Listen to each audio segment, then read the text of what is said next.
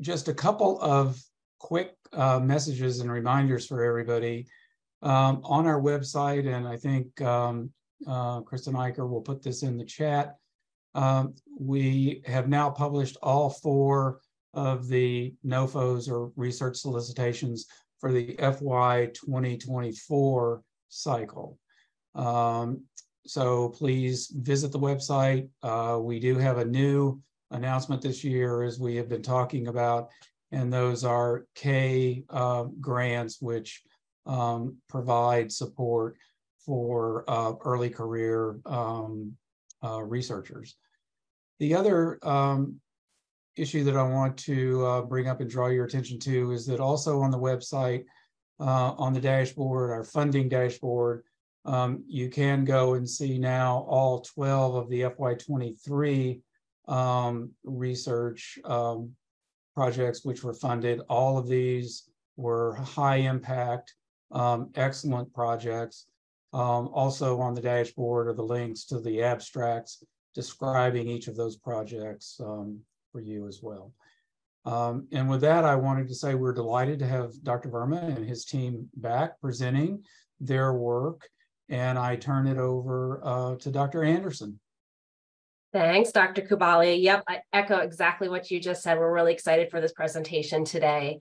Um, Dr. Amit Verma is a professor of medicine and oncology at the Albert Einstein College of Medicine and the director of the Division of Hematology Oncology at Montefiore Medical Center.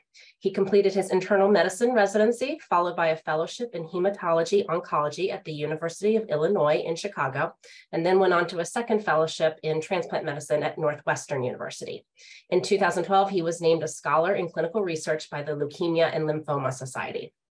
Dr. Verma is a very active clinical and laboratory researcher invested in the better understanding of the pathogenesis and the treatment options for myeloid malignancies and leukemias, discovering and highlighting potential therapeutic targets of specific activation pathways for diseases such as myelodysplastic syndrome and AML. His investigations are funded by numerous prestigious organizations, including the American Cancer Society and the Department of Defense. For the World Trade Center Health Program research, he has been involved in the establishment of a repository of blood and serum samples of exposed and non-exposed patients that have the potential to inform and modernize diagnostic capabilities for these malignancies. Very applicable to the program. We're really excited for your presentation, Dr. Verma. The floor is yours. Thank you so much, Dr. Anderson and Dr. Kubali. Uh, it's my pleasure to, to talk to this audience. Um, we've been trying to work with samples uh, that were collected from first responders. And uh, this is a huge collaborative project uh, that wouldn't be possible without uh, the team uh, enabled by Dr. David Prezant, Dr. Rachel Zygovans, and the whole team uh, at, at FDNY and at Einstein Montefiore. So I present on their behalf. So uh, the, the aim of this project was to detect early signs of blood cancers in the first responders. And this project started um, many years ago when Dr. Prezant and his team had noticed that they were the first responders were exhibiting signs of early malignancies. This was a paper in Lancet, which also showed a signal of increased numbers of cases of myeloma, uh, another blood cancer. And so we started uh, working on this project. The, the genesis, the hypothesis is that the exposure to the World Trade Center dust, particulate matter, was quite toxic. And uh, I, I, I don't need to tell this audience that there was a large amount of dust and smoke that was in ground zero, and uh, it was covering lower Manhattan. There have been a lot of analyses done, which shows there's a bunch of harmful chemicals that was present in the particulate matter, including polycyclic hydrocarbons, phenols, dioxins, burn jet fuel, asbestos, and all of these were being inhaled uh, by first responders. So with the help of a grant from the Valvano Foundation that uh, Dr. Prezant obtained, we started collecting samples from active and retired firefighters and EMS workers who were exposed to the, the World Trade Center disaster. And we have now uh, in our biorepository around 3,000 samples uh, that have been collected and preserved. To, to look at these effects, we needed a good control group. And um, the control group that we acquired was collected uh, from primarily two sources. One was uh, IAFF convention, you know, a convention of firefighters that was in Washington, D.C. We collected a uh, few samples after consenting. And we also obtained samples from firefighters in the Nashville, Tennessee area from our collaborator, Dr. Savona, who's a professor in Vanderbilt University. So we had a total of 255 controls.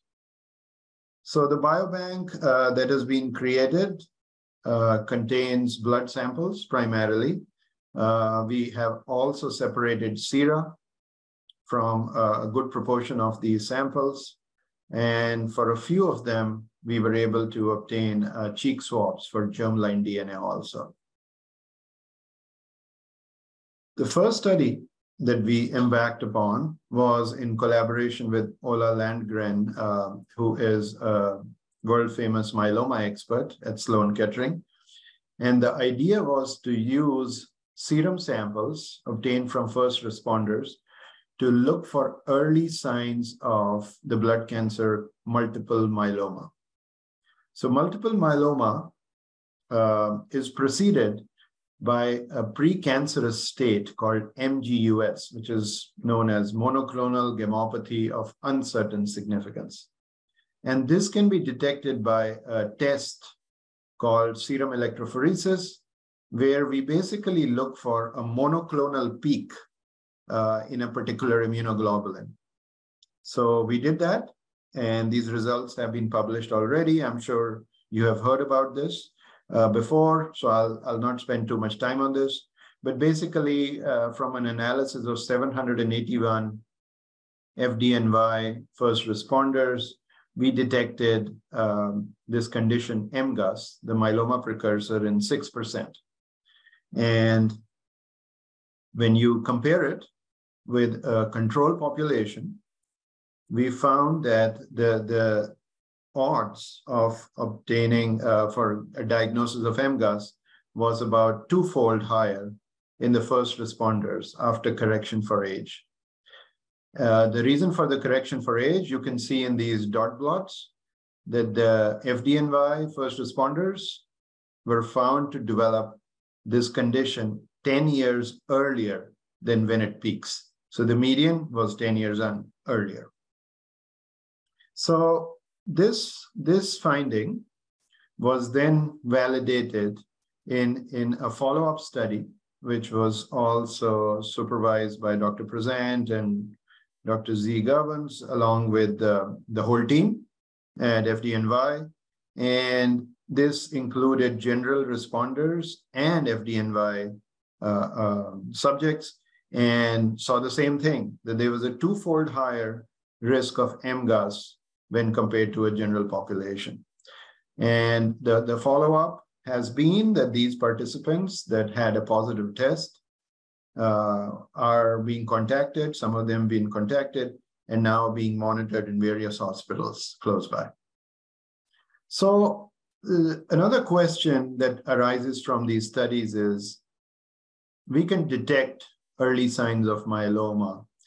What does it really mean? And this is a very important question. And I think this can be answered uh, by many studies that have looked at this and show that when you diagnose this blood cancer, myeloma, early, you have the opportunity to limit complications such as bone disease, pathological fractures caused by weakening bones, bad kidney injury that may be irreversible, severe infections, which may be life-threatening. So once we know that a patient has, a subject has MGUS, these subjects are followed yearly with a blood test. And when hematologists see uh, increase in their blood levels, uh, they can um, follow them aggressively and detect early signs of myeloma. And we have a lot of new therapies now for myeloma, including cell therapies and transplant, whose success also depends on how early we diagnose this. You know, if you detect a, a case with late stage myeloma, with kidney damage, with heart damage, then the success of these therapies is much, much less. So catching cancer early always allows for more treatment options and increases the success rate of, of these therapeutic interventions. More recently, we have now started looking at a condition called clonal hematopoiesis, which is the main topic of my talk. So what is this thing called clonal hematopoiesis? So as we age, if you look at our blood cells and you start sequencing them, you will find that as we age, we acquire mutations in our blood cells and in blood stem cells. And these are somatic mutations, meaning that these are the mutations that arise after we are born. These are not germline. You're, we're not born with these mutations. And this condition, clonal hematopoiesis, is also known by some other names, uh, including a condition called CHIP or ARCH. Uh, but but the, the more correct term that is more prevalent nowadays is clonal hematopoiesis. And why is this important? This is a very important question because finding mutations in blood cells is associated with an increased risk of developing blood cancers. And the two blood cancers that have been most associated with uh, clonal hematopoiesis is acute myeloid leukemia or AML or myelodysplastic syndromes or MDS. These are diseases uh, that do carry a bad prognosis. And um, it's been shown in various studies, large cohorts, that clonal hematopoiesis is increasing the risk of developing these malignancies almost tenfold. Fortunately, the number of people with clonal hematopoiesis that actually develop these malignancies is not that high. So what else can go wrong? Now there have been huge studies with, with huge cohorts like the, the Framingham cohort from the Boston, New England area and the UK Biobank um, in, in England, which show that when subjects have mutations in their blood, when they have clonal hematopoiesis, they have an increased risk of atherosclerotic heart disease. They also have an increased risk of various inflammatory diseases that can include liver diseases and can also include COPD, asthma, and other lung diseases. So, so the concept is that you have mutations in the blood cells, mutations in the white cells, and they cause more inflammation. They make the white cells, the macrophages, the monocytes more active, more inflamed. And so you have an increased risk of all of these systemic diseases. So just to summarize, this condition called clonal hematopoiesis increases with age. Uh, there are three genes that have been found to be mainly affected.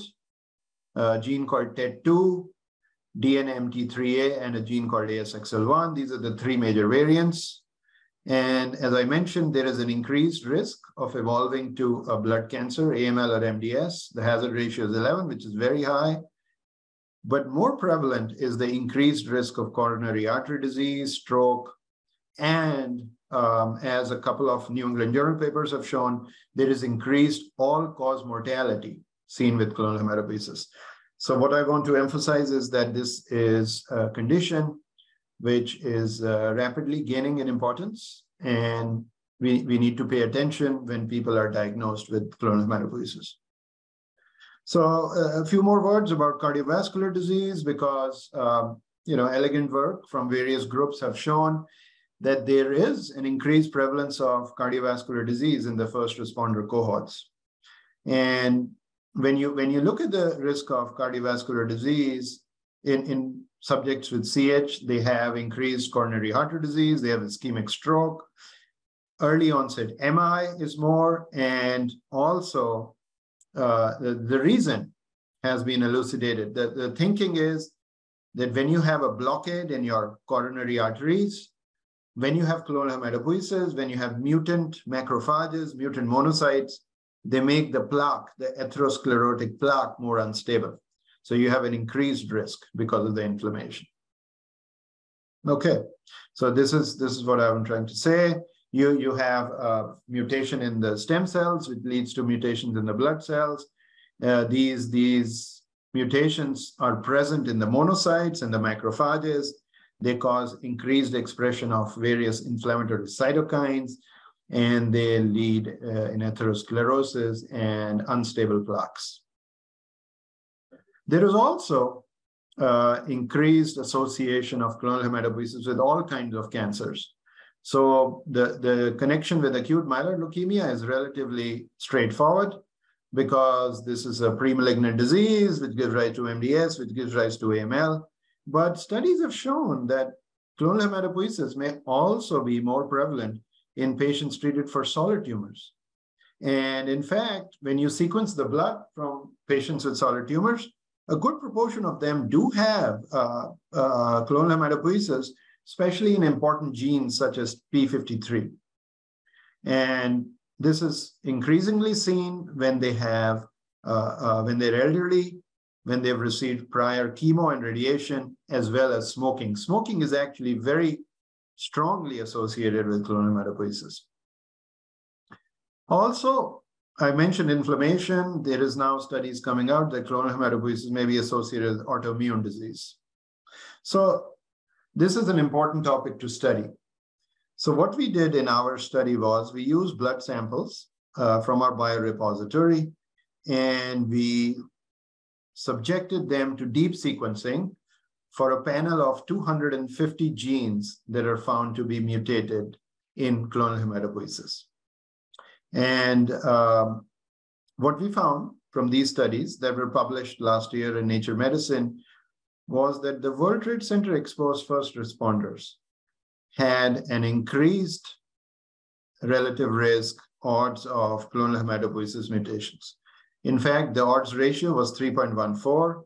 This was statistically significant.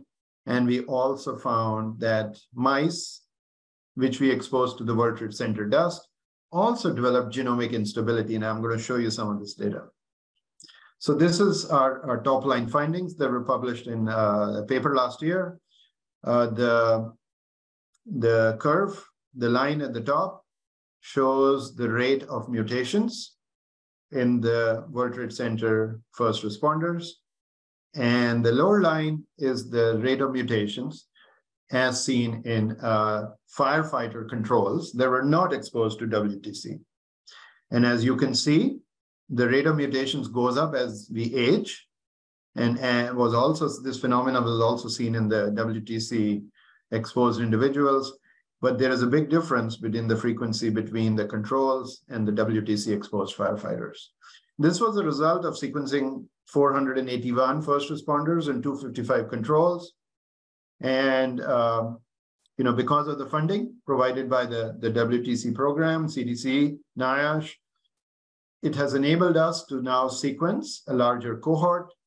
We are in the process of getting that data analyzed right now, but, but we expect uh, to be able to show you results of sequencing analysis of almost 1,000 first responders uh, pretty soon, maybe in the next few months. Now that we see these mutations, the next question is what genes are actually mutated? So the genes that we saw that were mutated were quite typical in our first analysis.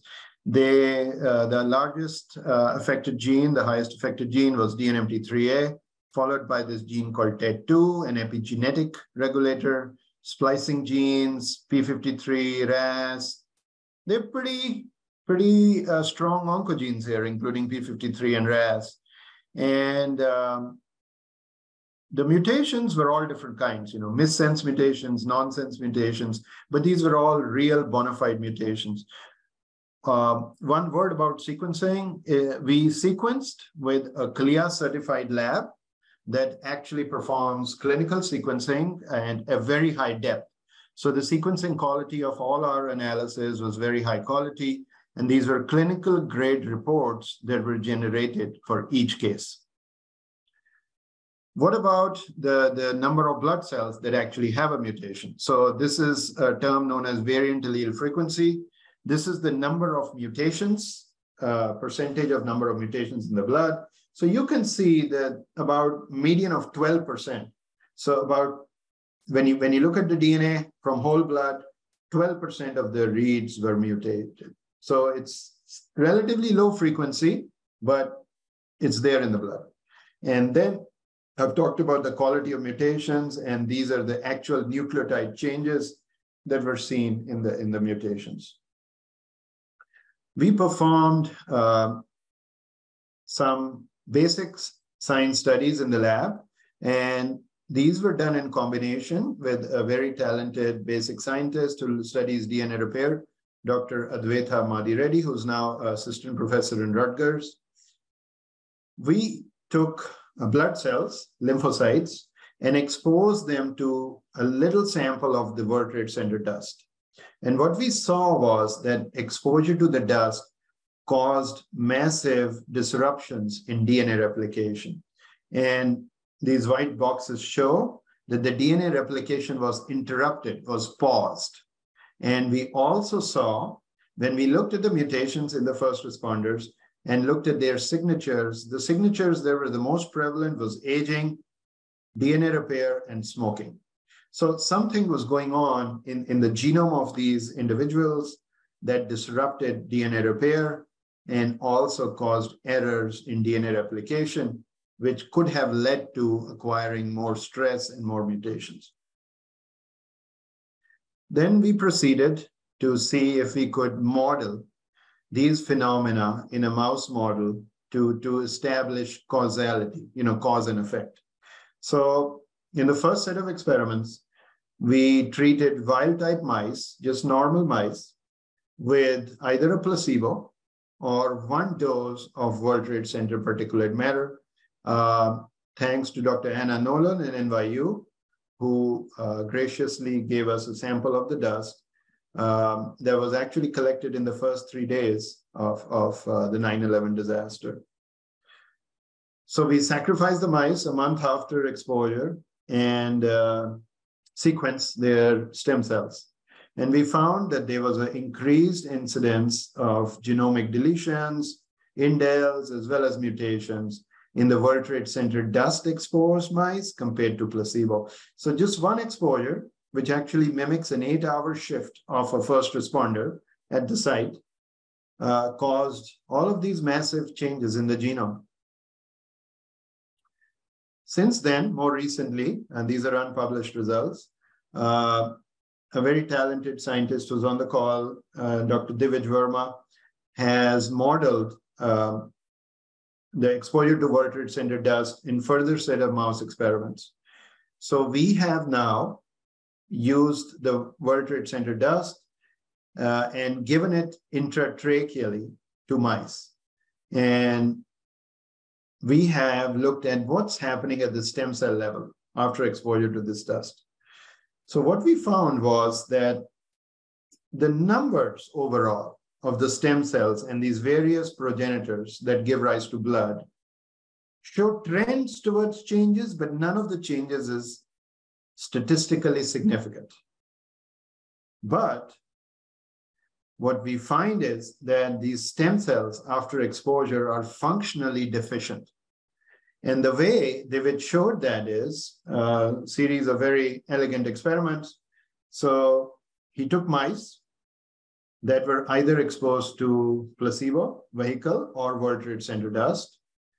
And then also took mice which had a different marker on their stem cells, CD45.1. And these mice had CD45.2. He mixed them, he sacrificed them and mixed their bone marrow stem cells, and then used this to transplant a new mouse. And the idea was to see do these stem cells have the ability to make blood? This is like a gold standard experiment, which is done in vivo to see how functional the stem cells are.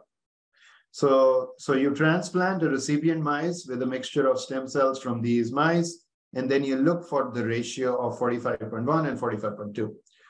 So he saw something quite striking. So what we see is that after exposure to the World Trade Center dust, just one exposure, the amount of blood cells generated is much less than in the control transplant group.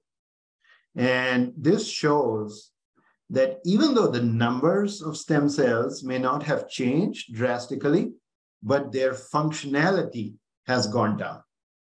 And the reason we think this is happening is there have been a bunch of papers that the inflammation that is induced by the World Trade Center dust exposure makes the stem cells in the bone marrow functionally deficient.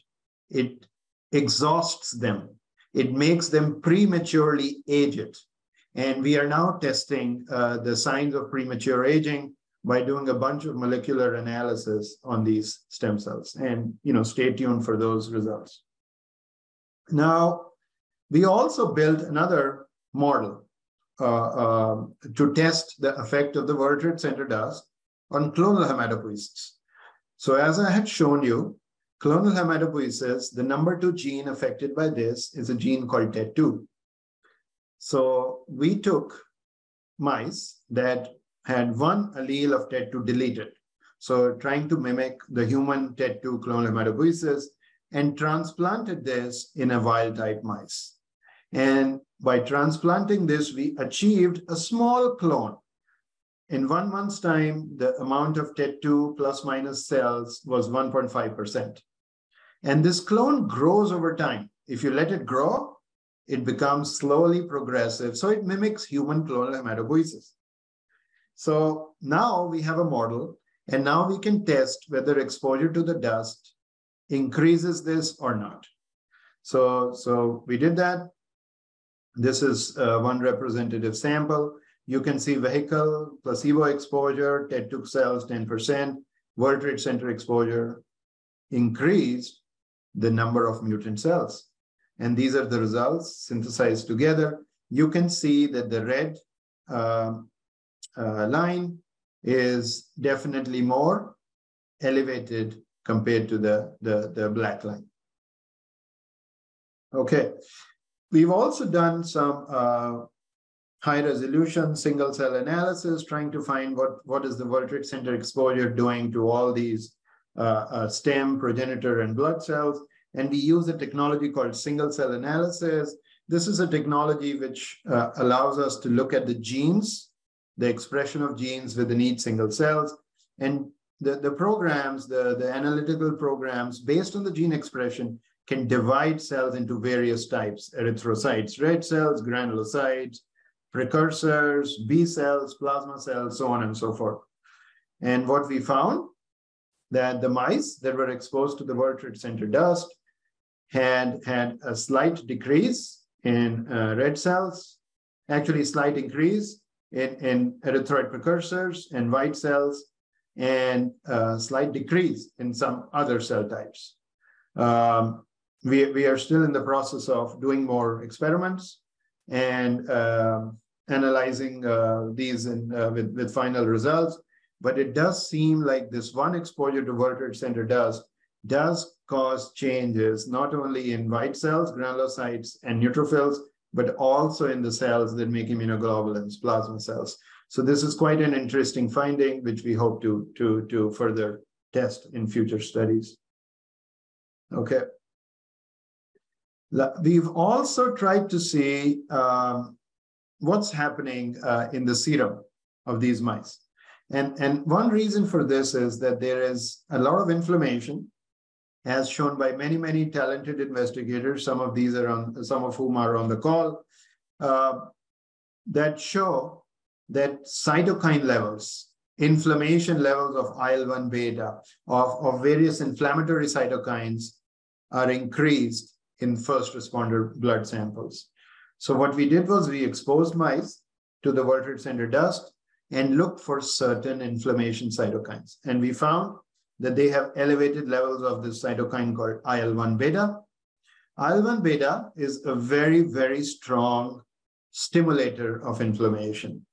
And it binds to its receptor called IL-1 receptor but it also interestingly binds to a cofactor called IL-1 receptor accessory protein or IL-1 RAP.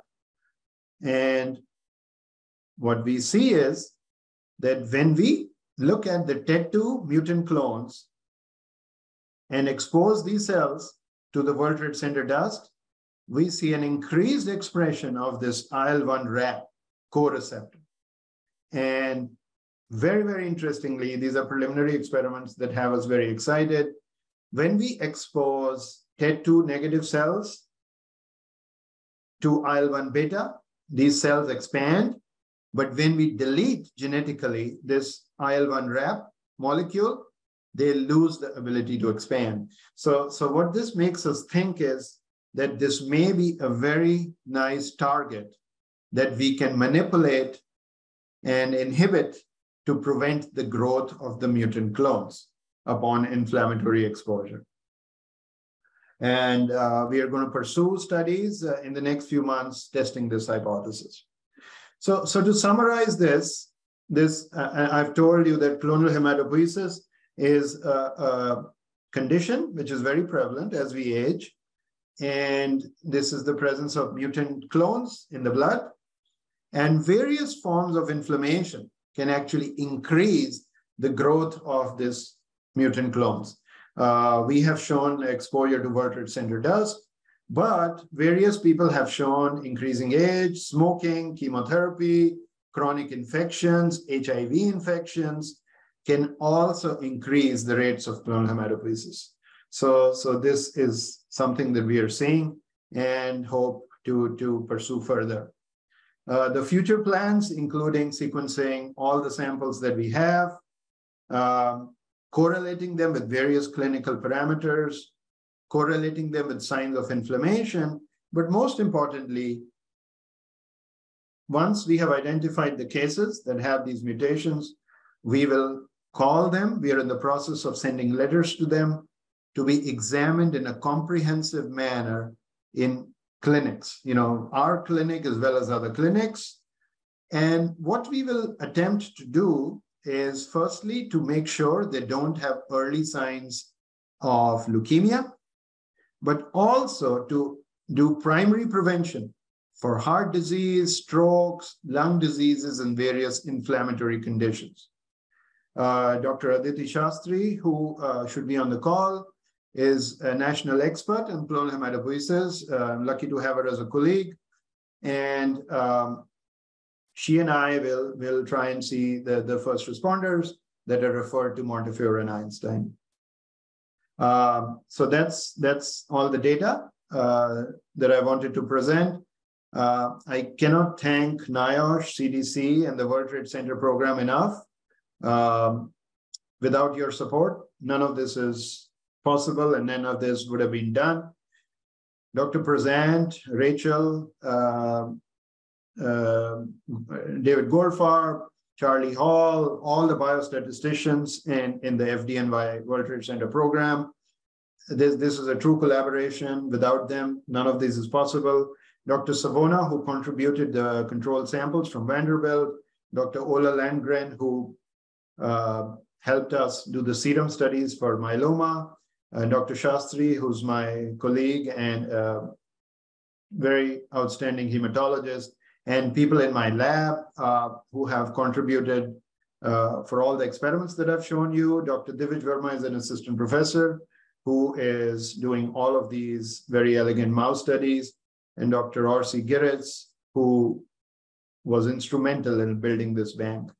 So with that, I am uh, thankful for the opportunity and happy to take any questions.